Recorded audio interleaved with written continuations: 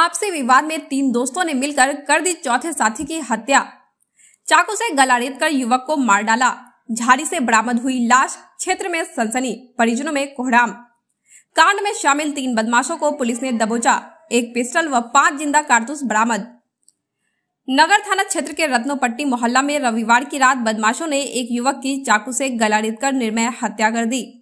सोमवार की सुबह उसका शव एक झाड़ी से बरामद किया गया। इससे क्षेत्र में सनसनी फैल गई।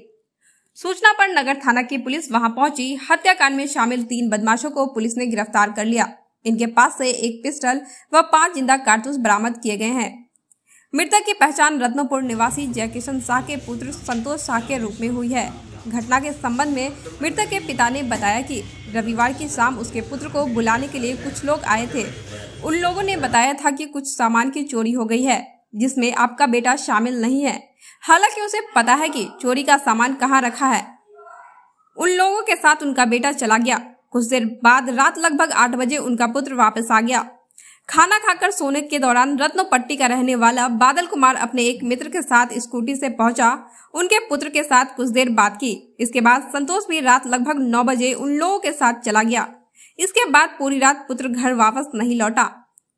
रविवार की रात बादल की चचेरी बहन की शादी थी। इस कारण घर के लोगों में किसी तरह की अनहोनी की आशंका नहीं हुई। अगले दिन सुबह संतोष की गला रेतकर हत्या कर देने की सूचना से घर वालों में कोहराम मच गया। पुलिस सूत्रों के अनुसार बादल कुमार, साजन कुमार, अक्षय शर्मा व मृतक संतोष शाह की आपस में दोस्ती थी। सभी एक साथ रहते थे, साथ ही नशा पान भी करते थे। रविवार की रात चारों बादल के घर के पीछे बैठकर नशापान कर रहे थे। इसी बीच किसी बात को लेकर आपस में विवाद हो गया। इस वजह से बादल साजन व अक्षय ने मिलकर संतोष की हत्या कर दी। एसएसपी बाबूराम ने बताया कि हत्याकांड में शामिल रत्नोपट्टी निवासी बादल कुमार, अक्षय शर्मा व जीत गाछी निवासी साजन कुमार को गिरफ़्तार कर लिया गया है। इनके पास से एक पिस्टल व पाँच गोली बरामद हुई है। रंगदारी के लिए दो दिन पहले की थी फायरिंग। संतोष शाह की हत्या के मामले में गिरफ़्तार तीन आरोपियों में एक साजन ठाकुर शातिर बदमाश में शामिल है।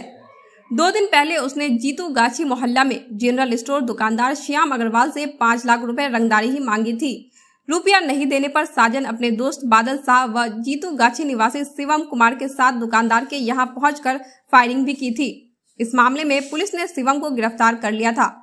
साजन और बादल को गिरफ़्तार किया जाता। इससे पहले ही दोस्त संतोष की गला ग्रेत कर हत्या कर दी गई। सब्ज़ी बेचने का काम करता था संतोष। मृतक संतोष तीन भाइयों में दूसरे स्थान पर था। उसकी अभी शादी भी नहीं हुई थी। घटना के बाद उसकी माँ सावित्री देवी, बड़े भाई अशोक शाह, छोटे भाई मुकेश शाह का रो रो कर बुरा हाल है। परिजनों का कहना है कि संतोष सब्ज़ी बेचने का काम करता था। पकड़े गए तीन बदमाशों में जब सख्ती से पूछताछ की गई तो पता चला कि संतोष भी चोरी मामले में जेल जा चुका है। गिरफ़्तार अक्षय के साथ संतोष काफ़ी दिनों तक एक साथ जेल में था। थाना अध्यक्ष ने बताया कि सभी के आपराधिक इतिहास को खंगाला जा रहा है। इस न्यूज़ के प्रस्तुत करता है city centre the complete multi brand men's wear showroom Subhash Chowk Darbhanga. ली एक सक्लूसिव शोरूम सुभाष चौक। और दैनिक कौमी। तंजीम न्यूज़पेपर दरभंगा।